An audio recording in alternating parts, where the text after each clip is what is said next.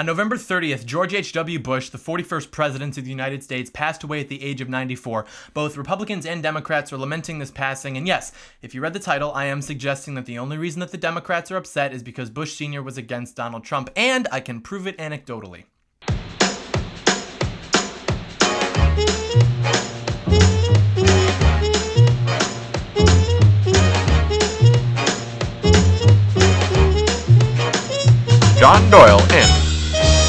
Off, commie. Hey guys, welcome back as always to Heck Off Commie. If you are new here, please subscribe to my channel down below so that every time I accuse a party of using someone's death for their own political gain, you can find out about it right away, right here. So, when John McCain passed away in August, I had an idea for a video that was going to be titled John McCain and the Death of Bipartisanship that was essentially going to point out the hypocrisy behind all the leftists in the media crying about John McCain dying because it was the death of bipartisanship, despite the fact that they've made virtually no attempts at being bipartisan and are just bummed out that their favorite RINO, John McCain, wasn't going to be there to maintain his 31% of votes in favor of liberty and or smaller government, and the rest in favor of the left and Big Brother and or the expansion of the state.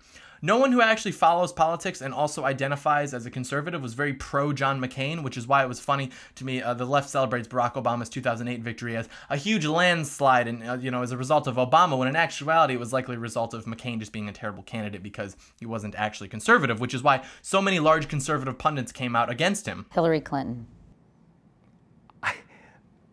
Can't believe I'm saying this. I think I would have much preferred her as president and may have voted for her against John McCain. I think John McCain would have been worse. How about this? I think John McCain would have been worse for the country than Barack Obama.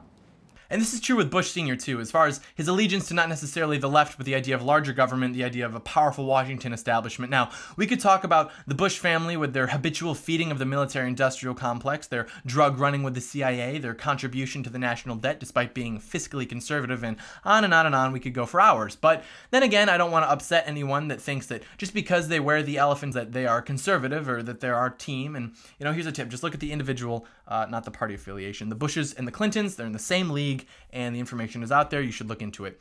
So, Bush Sr. is corrupt, and his allegiance was to the expansion of the Washington establishment. The left is also entirely corrupt, and their allegiance is to the expansion of the Washington establishment.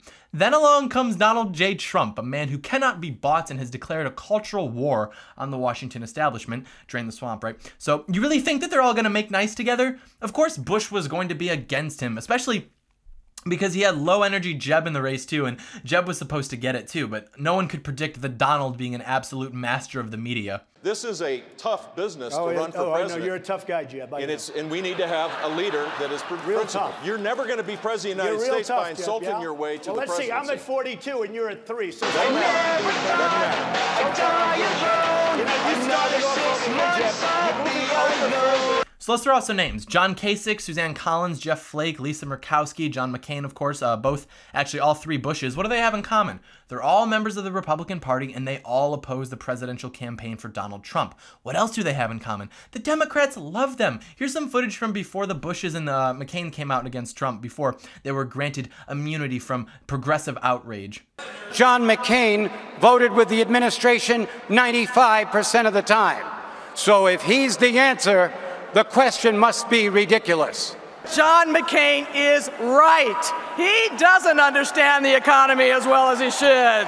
Of course, in order to be granted immunity from progressive onslaught, you must capitulate to the demands of the left because they control the media. Republicans are too often caught trying to relive the glory days of Reagan. They think that when the USSR collapsed, so did Marxism just because it was geographically disbanded for the most part. Like, no, guess what?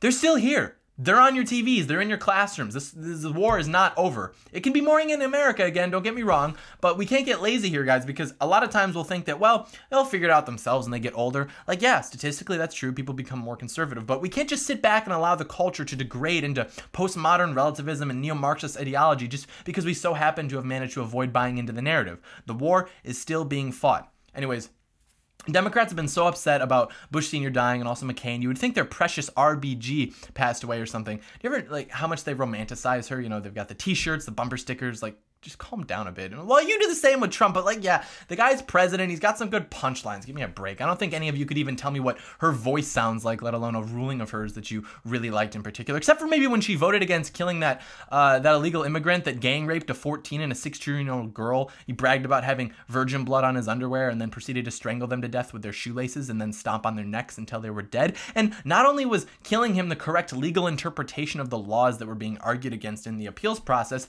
it was what he deserved to be frank, and you can try and take the moral high ground all you want, but the first time I read the details of that case, uh, versus Texas, for all of you actually want to look it up. I was numb for a good 10 minutes or so, just imagining that happening to daughters or wives that I don't even have. So any father or husband that claims that he wouldn't have wanted to see that man die is lying. So uh, both Bush and McCain are said to have voted for Hillary in 2016 like good, well behaved Republicans. So uh, that, that's so condescending. Like they like to pretend that their worldview is the norm and anything that deviates from that is just obscure. Like, no, no, it's not. And they can do this because they control the media.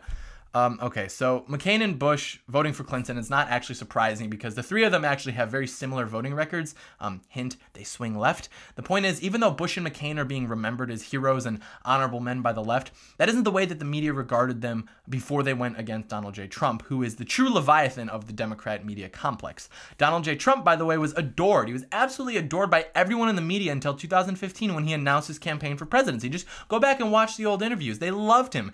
In 1992, the failing New York York Times wrote that Bush's economic policies were exasperating and his positions on individual rights is infuriating and is accused of, you know, stoking racial resentment, of going to radical extremes and supporting right to life measures and said his capacity to govern has collapsed. Same thing happened to him that was happening to Trump is as well when he nominated uh, Clarence Thomas to the Supreme Court. That event, that farce, when they tried to smear Clarence Thomas, is actually the event that red pilled Andrew Breitbart, who had always been a bohemian Californian liberal beforehand. Fun fact. Uh, McCain, too, in 2000, when he ran against W, was labeled a brave hero by the New York Times. But then in 2008, when he won the nomination against Barack Obama, Time said McCain had retreated farther and farther to the fringe of American politics, running a campaign on partisan division, class warfare, and even hints of racism. His policies and worldview are mirrored in the past, so uh, it's not about consistency. It never has been. It's about which pawns can be used to assist in the overarching narrative. This is the way it's always been done. Do not be fooled. But so now, after he dies bitterly going against Trump, he's praised for his adventurous bipartisanship. Yeah, the, the left only likes adventurous bipartisanship when it's for their agenda. Just ask Joe Manchin, who wasn't even being that adventurous. Why is it adventurous to be like, oh yeah, no, I mean, I guess no evidence, so I guess he's qualified? It seems more like, uh, I don't know, being childish. Let me clarify. There's nothing wrong with saying nice things about someone that has died. I'm not saying, excuse me, liberals, you can't say that you respect the life of John McCain now because you used to be mean to him before he died. I'm calling out the hypocrisy. I'm calling out using them when it's convenient to your narrative and then tossing them under the bus when it is inconvenient to your narrative. And it might even be relevant to, you know, post-death too, since I'm now talking about when President Trump dies and how funny that funeral is going to be. I don't like Barack Obama. I didn't like Bush Sr. and McCain, but I acknowledge the significance of their careers and I respect them for that at least. I disagree with Obama on virtually everything, but he was still my president. When the president of the Philippines insulted Obama, I was offended by that because Obama was my president and I won't tolerate the disrespect of my president by another world leader. And you will never see that from the left because they don't believe in um, they don't believe in America. They don't believe in any unifying narratives or identities. The issue is that they're pretending for uh, you know the sake of the anti-Trump narrative that Bush and McCain were great men that were always admired, which is false. They hated them except for when they could use them. And in, in 2017, McCain and Bush Sr. couldn't possibly pose another threat to them. So what do they do? They use them. They use them to say, look at these Republicans, which is a very vague application of that definition, by the way. They don't like Trump. Trump is so bad that even the evil Republicans don't like them. McCain was fine with that. He was fine with being used for this narrative because Trump made it personal with McCain after the comments about the POW camps. And so McCain was fine with his legacy being that he stopped Trump's repeal of the ACA, even though he was very much in favor of free market healthcare for the rest of his career. In 2008, actually, his healthcare policies were described as the most radical free market focused health healthcare, excuse me, policies in uh, recent decades. And it's sad. It really, it's sad. I understand it. Don't agree with it, but I understand it. I mean, Trump, he made it personal. Uh, and he paid the price for it politically because that really was the best chance of getting the ACA repealed. And McCain killed it. Bush, on the other hand, uh, with his allegiance to Clinton's and the big government, of course, he was going to be against Trump, but Trump never made it personal with Bush Sr. So even though Bush Sr. called him a blowhard, that rivalry wasn't as dramatic or petty.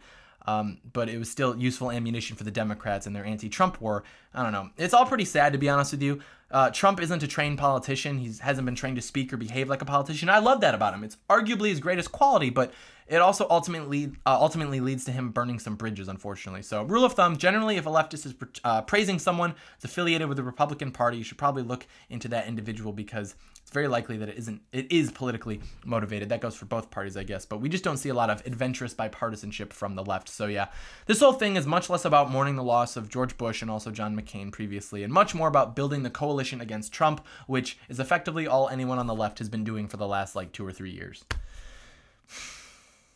Hey guys, if you like this video, please click my face down there to subscribe, give me a thumbs up or whatever. Uh, go ahead and share this video with a liberal friend of yours who is lamenting the loss of Bush Sr. for the sake of virtue signaling. Thank you so much for watching as always, and may God bless America. It is almost Christmas. That is awesome.